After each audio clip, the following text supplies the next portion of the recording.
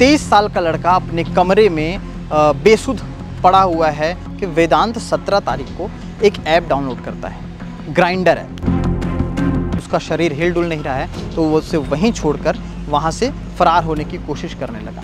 तो अंदर वेदांत पड़ा हुआ था और उसका चेहरा पूरी तरह काला पड़ गया था। रूम में जा रहे थे तो उन्होंने देखा कि वेदांत के कमरे से उसी सुबह एक दोस्त निकल के बाहर जा रहा है। और एक दिन की दोस्ती की बात आखिर ऐसा क्या हुआ?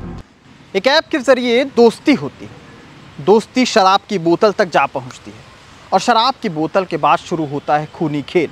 एक ऐसा खूनी खेल जो भिलाई में दहशत फैला देता है। एक ऐसा खूनी खेल जिसको सुनने के बाद लोग चौंक जाते हैं। एक ऐसा खूनी खेल जो भिलाई में शायद पहले कभी नहीं देखा सुना गया था। लेकिन पहली बार जब ये मामला सामने आया तो लोगों ने अपने दांतों तले उंगली दबा ली। क्या कुछ ये मामला था ये जानने के लिए?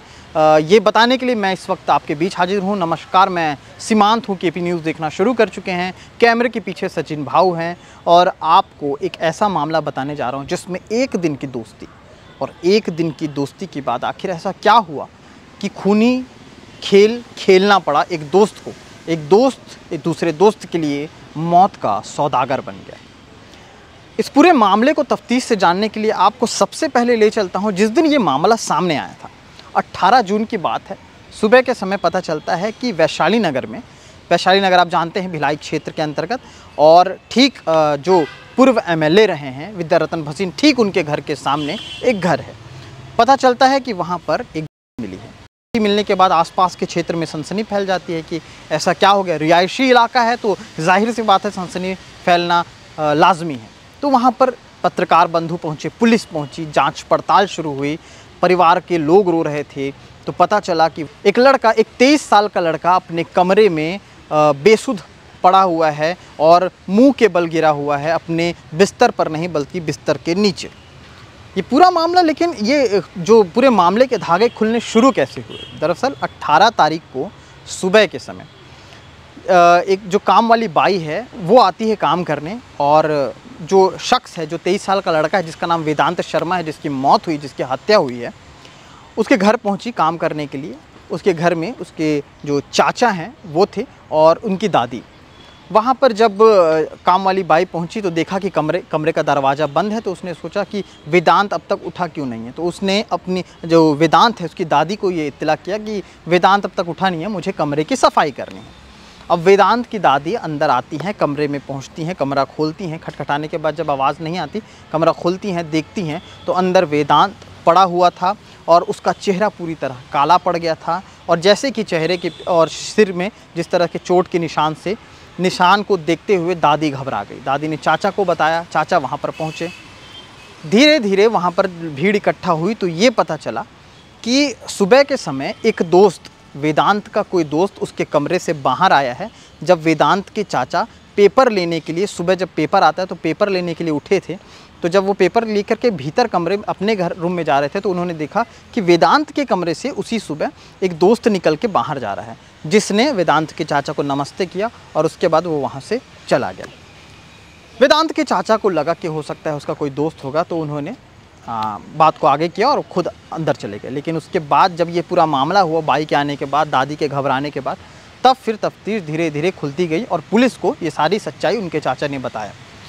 जिन्होंने रिपोर्ट दर्ज कराई, वो भी उनके चाचा ही हैं, वेदांत के चाचा, जिनका नाम संजय है। संजय ने रिपोर्ट लिखवाई, रिपोर्ट लिखवाने के बाद उन्होंने बताया कि इस तरह की पूरी स्थितियाँ हुई थी।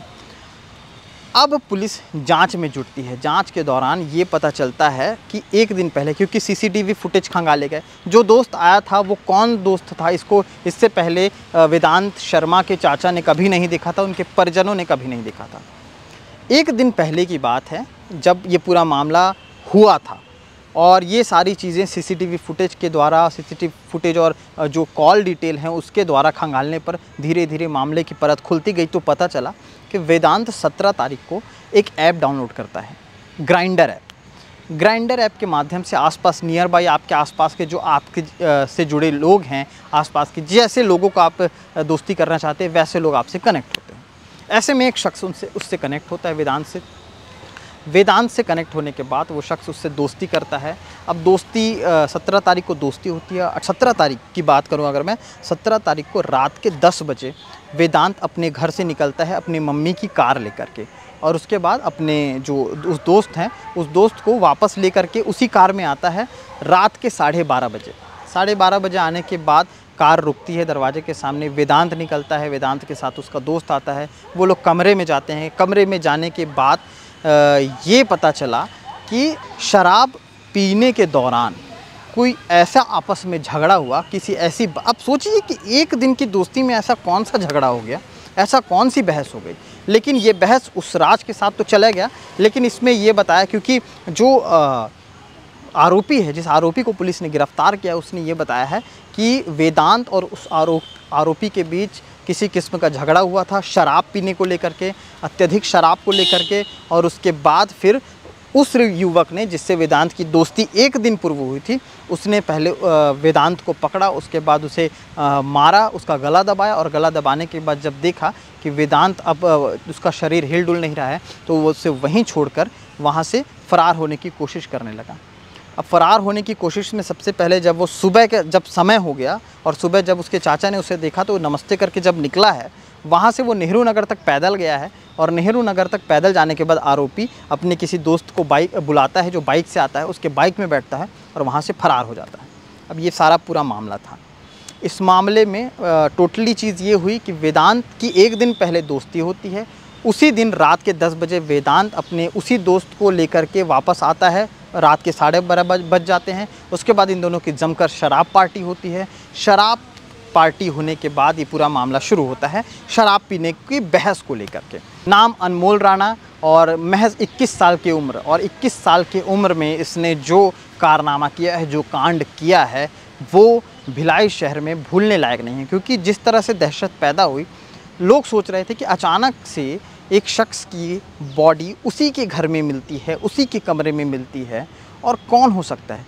क्योंकि जब उसका दोस्त सुबह निकला है तो उस दोस्त को जानने वाले न परिजन थे, न कोई और था। आसपास जो परिजन उस दिन आए हुए थे, उनका कहना था कि एक हफ़्ते पहले ही उनके किसी रिश्तेदार का देहांत हुआ था, जिसमें लगातार जो है वेदांत आना जाना करता था। एक दिन पहले ही उसने जिस रिश्तेदार, जो जिस रिश्तेदार का देहांत हुआ था, उसके घर में जा कर के उन्हें जो खीर बनाते हैं, खीर बना करके चढ़ाया था और वो वापस अपने घर आया था। ये सारी चीज़ें थी, जो परिजन थे, वो रो रहे थे, क्योंकि आँखें नम थी, घर का नौजवान लड़का चले गया और चले जाना इस स्थिति में कि उसे मारा गया, उसकी हत्या की गई। हत्यारे को फ़िलहाल पकड़ लिया गया है। अन, अनमोल राणा की तस्वीर मैं आपको दिखा रहा हूँ और जिस तरह से इसने अपने दोस्त को मारा है एक दिन के बने दोस्त को जिस तरह से इसने कत्ल किया है ये काफ़ी ज़्यादा भयावह था।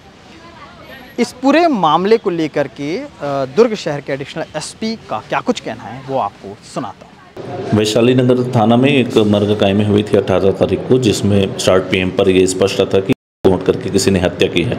जिस पर संदेही युवक को उठा करके जब पूछताछ किया गया तो उस दिन आना स्वीकार किया। जब वो वहाँ से निकल रहा था तो उसके मृतक के चाचा ने उसको देखा था, पहचान करवाई भी कराई गई।